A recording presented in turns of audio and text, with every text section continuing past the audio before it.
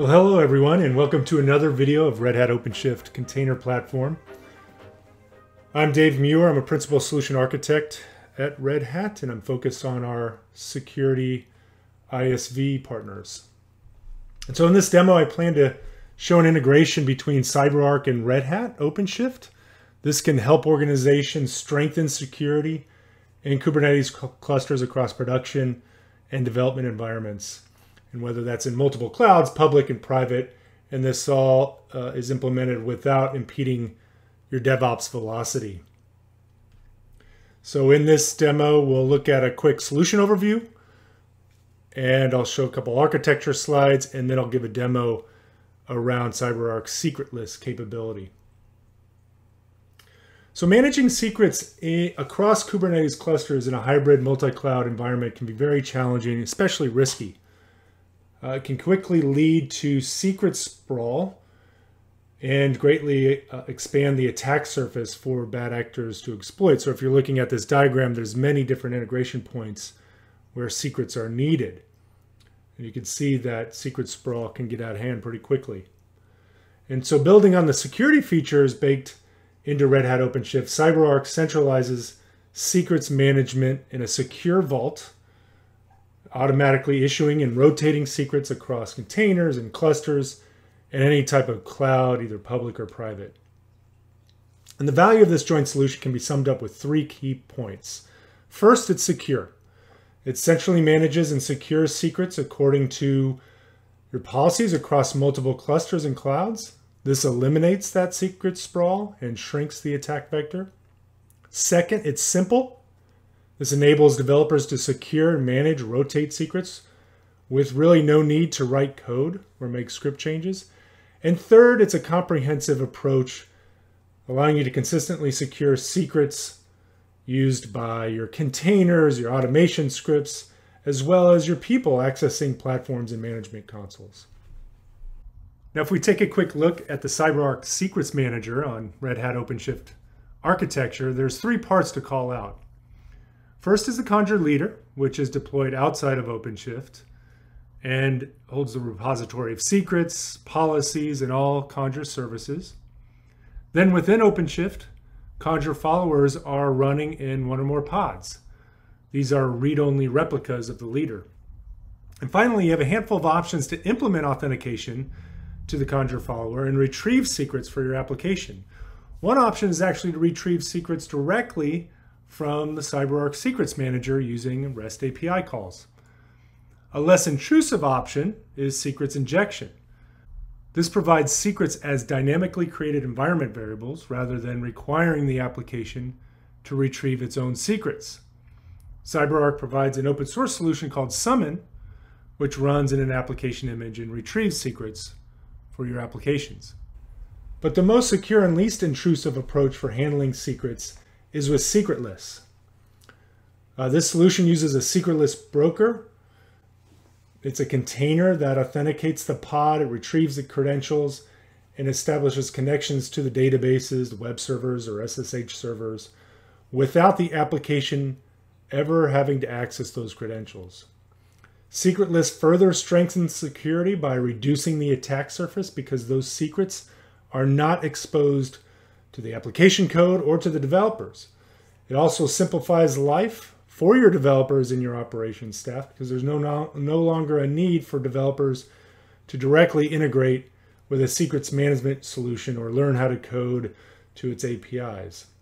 And more of our operations can provision and remove access more easily because there's no need for each application to interact with a secrets management solution. Alrighty, let's jump over to the demo. And if you're interested in learning more about this demo or following along, you can head over to demo.openshift.com and choose the CyberArk Secrets Management for OpenShift Workshop navigation item. That'll show you a page with a link to this lab guide. And if you're interested in doing a workshop within your organization, feel free to contact either CyberArk or Red Hat and we'd be happy to provide it for you. I'm going to show you one of the labs of this workshop. It's the fourth lab around secretless. And everything you need to do within the lab is contained within uh, your within the installation. So if I go to my user project here that I'm logged into and I check out the workloads, I can see there's a lab admin pod running. This provides all the documentation and scripts you need to run this demo. So if I go in here and go to the terminal, I'm just going to go ahead and expand it right out of bash command. That enters me into this container and you can see one, two, three, four, five, these different labs that you can, or in demos that you can walk through. So I'm going to cd into the secretless directory. If we take a look at that directory, you can see a bunch of YAML that's created. So the, one of the first steps that you would run is uh, use this labcutl command line. So labcutl helps to has various options. It can create the YAMLs you need uh, for the actual demo. I'm just going to create the YAML files again. And let's just take a look at the app secretless policy. This policy loads into CyberArk that you're going to use this secretless broker that we just talked about. So let me go ahead and run the load policy for my user. You can see this created the role. Now I want to take a look at the secretless YAML. And this is really the key part of the demo. And you can see here that by using secret secretless, you're not storing any sort of sensitive information within configuration files. So username and password are all parameterized and then they use that keyword to grab the secrets. The application, the container, the developer have no idea what the what the credentials here at this point. So in this case, I'm going to create a config map with this secretless information. If I do that, it goes ahead and creates it. And then we'll take a look at the app that we're going to create. So this app is a simple app that connects to a MySQL database. Um, and it'll be running as a pod as well. And it's going to use that those secretless uh, credentials. So let me go ahead and create this application.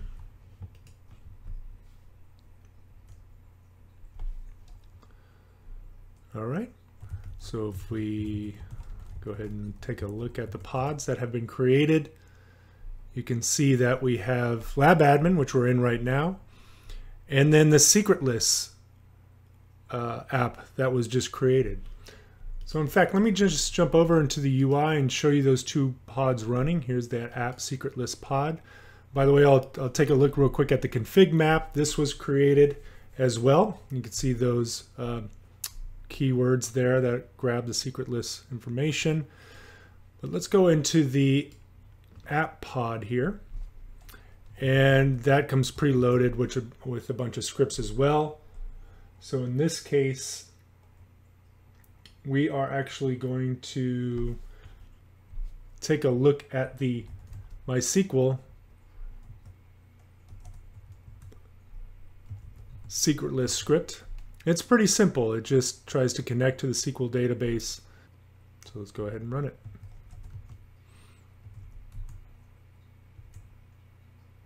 If you think about what's happening in the background, that is actually connecting to a MySQL database without understanding or knowing what the actual secrets are to connect to that database. So let's go ahead and just show the database is here, just to show you that we are connected to a MySQL database. And really that's it. It's a pretty straightforward lab, but it shows you the power of secretless approach within CyberArk. All right, I'd like to thank everyone for watching how CyberArk and Red Hat OpenShift can simplify secrets management across your hybrid and multi-cloud environments. And to learn more about this demo, please head on over to demo.openshift.com.